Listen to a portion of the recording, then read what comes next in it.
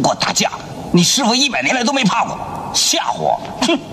那我先哦，继续我们的《射雕群侠传》。那今天来讲我们最后一集的新角抢先看。之前都已经把路版已经开放，但是台服还没开放的角色，大致都已经介绍过一轮了。像比如说何足道啊、皇赏啊、绝远大师啊、九千仞这些。那之后有介绍路版目前开发中的角色，像比如说上次很帅那个白水道人，然后还有韩千叶。那其实来讲，看完开发中的角色那四五只之后，发现后来的角色官方都是出神话角比较多，几乎没有出传奇或史诗角。那其实来讲，这个游戏。核心虽然说队伍的那个核心输出大致都是以神话为主，或是一些流派的一些分类，但其实队伍的整个主力或是打法来说，还是以传奇为主。算是史诗比较强的，像比如说梅超风那个些都会派上用场啊。只是说后来的官方都是出神话角啊，其实蛮推荐之后出一些实用的传奇角或是史诗角也可以。但其实要讲这个队伍来说，传奇真的是比较实用，而且资源比较不那么好，因为这个游戏养成哈神话的养成真的太困难了。那基本上，所以队伍的大致的那个强度大概都是以传奇跟史诗在撑。那这个游戏另外一个麻烦的点是，它不像比如说苍天英雄志，它不像有些游戏它可以转换成万能碎片。那万能碎片的好处是什么？就是你可以随时想要换队都可以。像比如说我那个蜀国玩腻了，我就把全部的那个角色全部融成万能碎片，然后再把它换成别，比如说别队这样子。所以你可以玩这个游戏，你可以玩那个游戏，可以玩很多的流派，或是很多的一些那个分路这样。但这个游戏老实讲，虽然说有重置，但它的重置其实它只是把你的那个觉醒石那些拿回来，你的人物的碎片还是没有办法转换。所以等于说，假设我练了独队。我未来想要转舰队，想要转那个那那双爪队，你根本就没有这些的碎片，那你也没有万能碎片，你等于要从头开始存碎片。虽然说觉醒石可以拿回来，所以这个游戏对于转队啊，或是那些真的是不太友善的。等于说你练了一个队伍之后，你想要再转其他队，你要重新把资源再从从头养的意思。那这个除了大科长那些，呃，每个角色都会练之外，其实无氪玩家你大概选定一个角色之后，选定一个流派之后，大概就不会动。所以整个游戏，呃，还是建议还是以传奇或那个史诗角实用的多一点的话会比较好。那等于说神话角的话，大家可以少练一点。那那个流派的话，可以大家可以玩的比较多这样子。好，OK，那今天算是介绍整个抢抢先新角抢先看的最后一集啊，因为之前大家都已经介绍完了，除非他之后又有再出一些新角这样子。那最后的压轴就是我们张三丰。其实张三丰在神雕跟倚天，尤其是倚天，倚天的开头真的是。他算这算是蛮重要的一个，就跟那个李连杰那个电影那个《倚天屠龙记》，他那个张三丰的那个戏份也很多啊。张三丰最有名就是他那个嘛，武当派的开山始祖嘛。即使到《笑傲江湖》那时候，那个武武当派那个冲虚道人都还有出来，所以武当派其实在整个那个金庸小说里面，算算是那个占的戏份很多。那张三丰是属于武当派的开山始祖嘛，就是由他创的，然后也是那个几乎是小说里面算是绝顶高手之一了，跟那。虽然说没有跟扫地僧 PK 过，但是其实讲，我觉得扫地僧其实应该也蛮强的。那他的那个原名叫张君宝啊，以前小时候看那个张卫健演的那个少年张君宝吧，就是原本看完之后我还想说他是谁，就搞半天他是张三丰的原名这样子。那最早以前是出现在射雕的结尾啊，神神雕的结尾。那只是之后他是绝远的徒弟嘛，所以他之后倚天之后，随着绝远逃出少林寺，然后之后听绝远背那个九阳真经，这个部分看那个侠客行，侠客行真的介绍蛮详细的。如果不想重看小说的话，其实侠客行把一些缘由啊，或是一些由来跟那个都可以都分析的不错。然后九阳真经之后就一分为三了嘛，武当派一个，然后峨眉派一个这样子。那武当派的武功几乎都是张三丰自创的，他几乎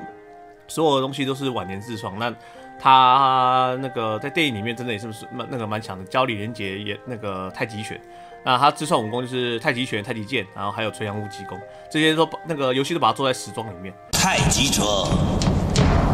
无极而生。好，无忌，我就教你一套我一百岁才创出的武林绝学——太极拳。OK，那我们来看一下游戏的技能好了，它是属于技的啦。目前它看起来是神话，然后属于技的。然后它的定位是属于群体输出，然后免疫控制。然后等下可以来看一下啊，这已经它是把它归类在倚天了。虽然说好像神雕结尾其实有出来过，但是因为它那个嘛，之前跟那个郭襄那个时候小很小的时候嘛，那之后它算是游戏把它归类在倚天，它可能倚天占的戏份比较大。好，那来看一下它技能，第一个太极拳也是他的那个招牌的那个招式。太极拳只重其不重其招，你忘记所有的招式，就练成太极拳了。对敌方全体造成两百四十三趴的那个内功伤害，然后可以晕眩一回合。呃，全体造成伤害加晕眩，哦，那还不错哎。然后有三十二趴，呃，三十趴的几率使目标每回合受到攻击五十趴的中毒伤害，持续两回。哎呦，张三丰还有中毒伤害哦，嗯，他跟毒应该是照理说完全看不搭嘎的。他那个看那个《倚天屠龙记》的时候，他那个跟玄冥二老打的时候，他几乎抗毒哎，他不是那个童子身可以抗毒。好，这是太极拳，它最主要是全体可以造成晕眩一回合了，真的不错。攻击系数不高，但是还晕眩跟石化那些都是算是很实用的一个控制角，呃，控制技能这样。然后三十几趴的几率受到中毒，这样看不知道能不能外挂在毒对。然后那个二火技的太极剑法，普攻的时候有五十趴几率触发，对目标造成攻击两百多的内功伤害，然后或者对友方最低的目标治愈两百多的等量血量。所以普攻的时候，大概有一半的几率可以触发，要么打对方，要么补自己的血量。感觉系数不高，但是如果有普攻就可以触发的话，感觉好像还不错，不用等怒气值满。那在三国技能垂杨无极功，哦，最有名招式我也觉得很帅。技攻的时候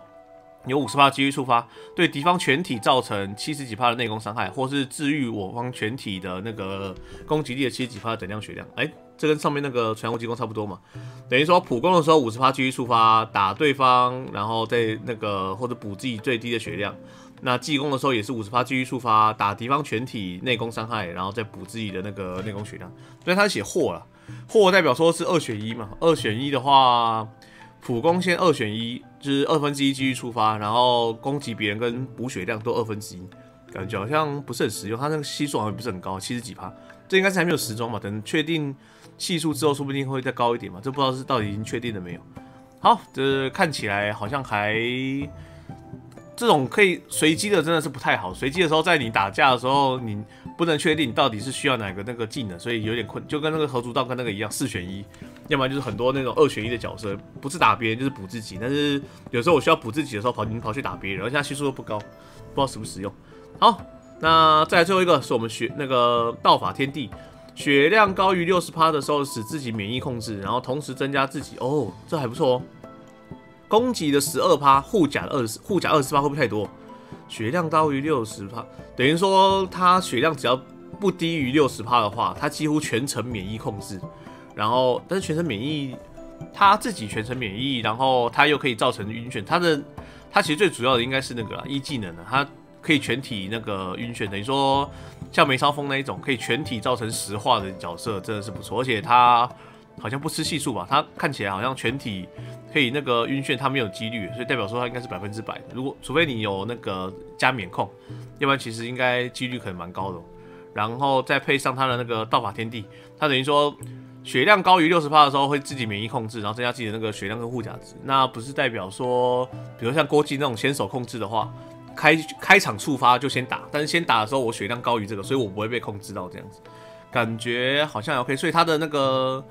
他的那个定位就是群体输出嘛，就他一技能，然后普攻啊，或是那个都都那个造成全体嘛，那个叫那个纯阳无极功，然后免疫控制就是他的道法天地，看起来还技能组好像还 OK，但是感觉打起来它系数都不高，不知道实不实用。好，那他的那个专武，专武是那个太极符神，跟那个妖尼姑一样。一个武当一个峨眉的那个头那个掌门人，呃，免疫一样十趴免疫攻击伤害，然后气势开场时候触发增加自己技伤十趴，然后一直到只要战斗结束，但是技伤真的不高啊。然后寄回技攻的时候七十五趴继续触高，呃，七十五趴继续触发，增加自己怒气值的十五，哦，这个倒是不错。他只要发技能七十五趴继续再增加自己的那个怒气值十五，然后包含你普攻或开场或是回合回怒这样子的话。他如果可以每回合都可以发那个太极拳的话，其实真的还蛮强。他每回合如果都发太极拳，代表说他有几率晕别人，然后纯阳纯阳无极功又有几率攻击别人之外，再补自己的或补自己的血，然后还不错。就等于说控制有，但是输出感觉不高，但是他的那个发技能的效果应该不错。如果再加那个阳消的话，看看有没有到时候有没有那个就是那种无限流。无限流就是一直轰一一直每每每回合都发技能，然后一直轰，然后你一直控制，然后你一直那个让人家撩血这样，所以他才会有为什么有那个五十趴中毒伤害的效果。OK，这就是我们那个张三丰的能能力，看起来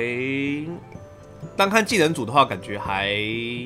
OK，就是最主要是只要控制的角色其实都不错了。那他是神话角嘛，所以他的那个体质应该是不错，会比那个梅超风或者陈玄风都好。全体实话的来说，那个。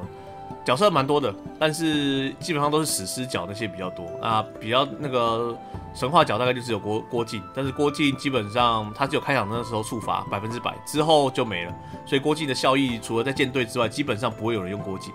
那神话角如果把它外挂在独队的话，如果你让人家一直晕眩，其实独队其实也蛮适合控制，需要一些控制的，因为。你独队就是要拖回合嘛，拖回合，如果你能把人家全面石化或晕眩的话，其实对我们那个队伍的受伤跟压力来说会少很多这样子。所以到时候看看张三丰出来的时候，看看有没有人大佬们实测，把它看是外挂在哪一队，看是比如说无限流啊，或是独队啊，或是那种，因为他不是属于波流嘛，看他的技能系数也都不高，他也是属于那种拖台前跟那个控制的角色这样，控制角能免疫别人控制就很不错了，因为你控制到最后后来大家都抢先手。所以速度变成很重要，但速度即使再快，有些开场的时候触发，你一定他一定会触发嘛。所以基本上开场触发就考考验你的免控的能力这样啊。所以类似像张三丰这种，即使你开场先打我，但是我血量高于六十趴的时候，我自己可以免疫控制，这种技能都还不错。OK，大概是这样。我们张三丰，到时候等大佬们测看那个出来之后实测，看看这个到底强不强这样啊。最后啊这边有简介了。张三丰那个属于张真人，原名张君宝，然后武当派创始人，然后徒弟是武当七侠，徒孙张无忌，然后自创太极，然后天赋异禀，为人正气，然后仙风道骨哦。那个《倚天屠龙记》那个电影真的是把他演的有点那个猥琐，嗯，但是正统的他好像是蛮那个仙风道骨的。我张三丰这辈子什么都敢做，就是不敢做汉奸。然后当世奇才，少年时候跟郭襄相识。一直有说张君宝喜欢郭襄，不知道真的假的。然后德阳过指点武功，然后绝远传授他九阳真经，啊，应该说他他偷听的了。然后创立武当派，然后成为泰山北斗这样子。好，这就是我们今天最后一支新家抢先看的角色张三丰，这样介绍给大家。那今天本视结束，喜欢的话都欢迎支持一下。我是轩老，感谢收看，下次有缘再见。要你过，要你过，要你过，要你过，要你过。